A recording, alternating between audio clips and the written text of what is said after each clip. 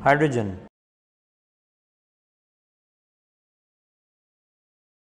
Hydrogen. Pure hydrogen with only one electron and one proton. बहुत ही unstable होता है। उसके लिए ये हमेशा कोवलेंट बॉन्ड फॉर्म करता है विथ अनदर हाइड्रोजन और या दूसरा कोई कंपाउंड के साथ। एंड खुद को स्टेबल करता है एस शेल फिल करके with two electrons pure hydrogen atom इतना रेयर है कि लेस के पैकेट में चिप्स मिल जाएगा बट प्योर हाइड्रोजन कभी नहीं मिलेगा।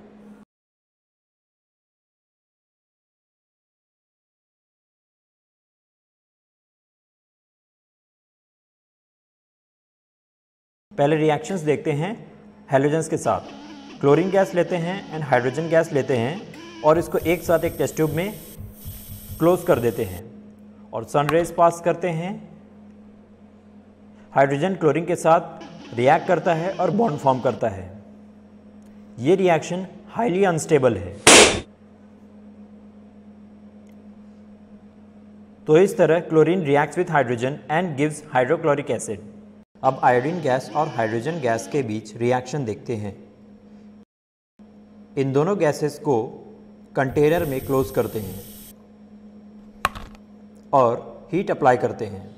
तो हाइड्रोजन बॉन्ड फॉर्म करता है आयोडीन गैस के साथ and deep violet gas form होता है, और इस तरह हाइड्रोजन आयोडाइड मिलता है।